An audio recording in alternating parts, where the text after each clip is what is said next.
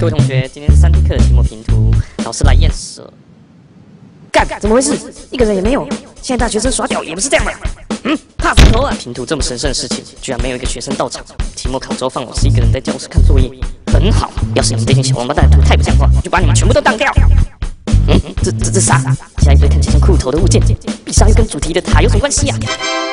必杀斜塔嘞，这哪招啊？难道是必杀斜塔谐音吗？这学生哪来自信觉得自己会及格啊？这有啥？几个球堆起来就拿来交作业，太瞧不起人了吧？这跟主题的塔又有什么关系啊？扑你个头啊！当我没吃过蛋挞吗？上面紫色小球到底想表达啥？当掉当掉。嗯，这个我应该猜得出啊，这应该就是传说中的罗比塔，哈哈，厉害吧？你这群死大学生屁股有几根毛我还不了解吗？混账东西！还有什么烂梗？尽管放马过来吧。对，终于有人做我规定的主题了，前面几个根本是来乱的。看全班第一个要及格的名单终于要出炉了。嗯，不过图怎么还没出来？嗯，电脑停住了吗？来，老师帮你集气。嗯，出来吧，金字塔。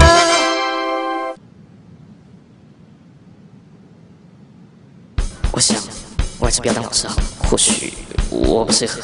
老师，对不起，我来晚了，我来交作业。全班三 D 最强小明来了吗？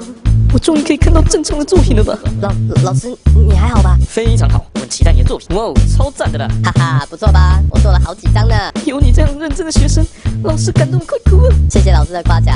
哈，话说回来，你这个建筑物的主题是？嗯哼，主题叫灵骨塔。啊？老师，你看，我很认真的把你给画了进去呢。哎，那我去庆祝欧趴喽，拜拜。干你老师哎！